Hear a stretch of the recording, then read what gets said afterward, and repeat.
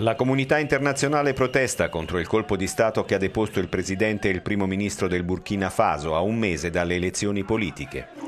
Il presidente francese Hollande e il segretario generale delle Nazioni Unite Ban Ki-moon hanno condannato la sollevazione militare e chiesto la liberazione dei leader imprigionati. A compiere il golpe militari della Guardia presidenziale.